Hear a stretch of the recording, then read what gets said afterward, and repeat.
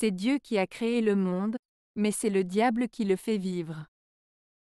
Tristan Bernard Cette citation de Tristan Bernard suggère que, même si Dieu a créé le monde, c'est le diable qui est responsable des actions mauvaises et des comportements immoraux qui existent dans le monde.